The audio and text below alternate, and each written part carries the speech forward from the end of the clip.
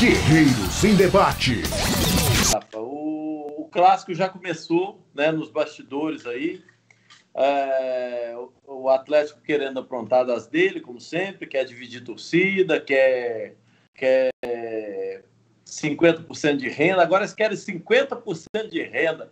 Me ajuda, né? Aí depois chega na segunda fase, bota a gente para jogar no caixotinho do outro, quer dar só 10% de ingresso. É. O Cruzeiro tem que parar com isso, cara. Tem que parar com essa história de cair nessas ondas aí, de federação pressionando, de imprensa pressionando, de atlético pressionando, querendo dividir renda.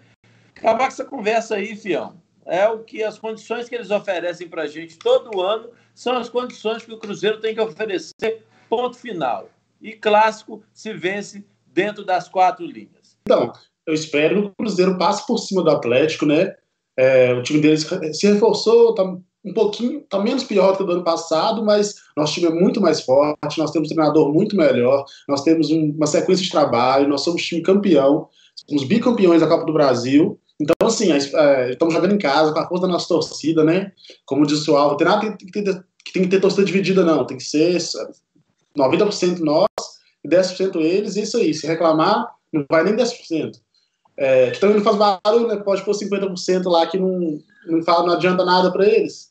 Então, assim, é, espero que passe por cima mesmo, tem que jogar melhor, tem que, tem que vencer, entendeu?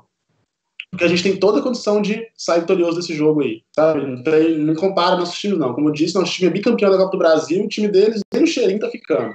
E a minha expectativa para o clássico é muito boa, cara. É falando sobre o, a estreia do Cruzeiro, o, o, placar em si, uma vitória fora de casa no Campeonato Mineiro, né? Típico futebol raiz, já é muito bom. Mas eu, eu, eu achei que o Cruzeiro se portou muito bem em campo, um time muito consciente do que deve ser feito, das limitações físicas.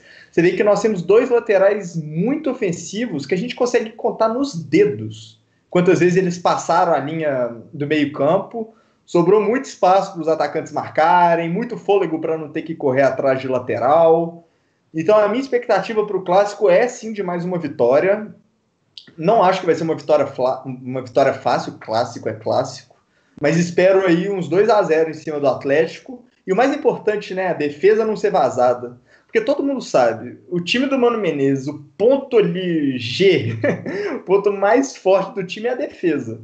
Então, quanto melhor tivermos na defesa, mais chance de, de ganharmos, de títulos teremos. Aqui no Guerreiro dos Gramados é de torcedor para torcedor. Sou cruzeirense apaixonado e pra sempre eu vou te amar.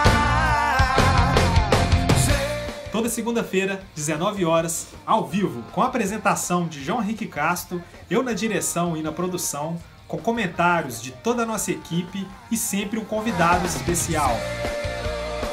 Tudo que você precisa para ficar bem informado sobre o Cruzeiro, os melhores momentos, as contratações, os gols, as últimas notícias, tudo aqui, segunda-feira, 19 horas ao vivo, no Guerreiros em Debate.